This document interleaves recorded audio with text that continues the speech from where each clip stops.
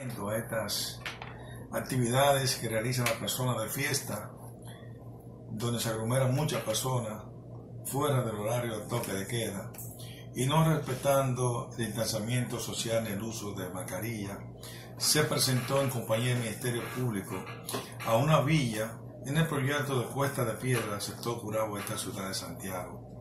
donde se realizaba una fiesta en ese lugar la policía apresó, a 35 personas, 18 jóvenes, mujeres y 17 hombres, a quienes procedió a conducirlo en calidad de detenido al destacamento de Gurabo. También ocuparon ahí equipos de música, jucas y otras evidencias que están en poder del Ministerio Público. Todas estas personas serán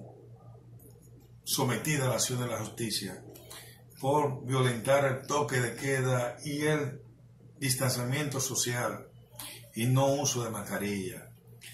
Eh, se están dando la tarea a personas de realizar este tipo de actividades en clubes, casa,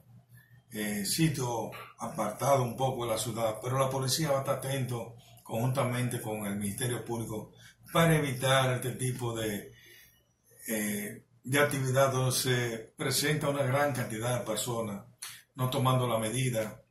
de distanciamiento social, no uso la mascarilla. Esto conlleva a que la persona pueda estar más expuesta al contagio del COVID-19.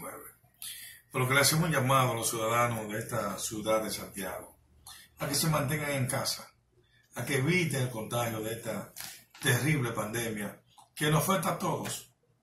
Y la misión de la policía es eh, hacer cumplir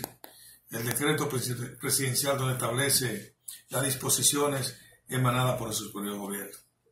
solo le están poniendo una multa, me dicen, a los apresados en este tipo de, situaciones. Bueno, tan pronto se apresan estas personas, con la evidencia que se ocupan,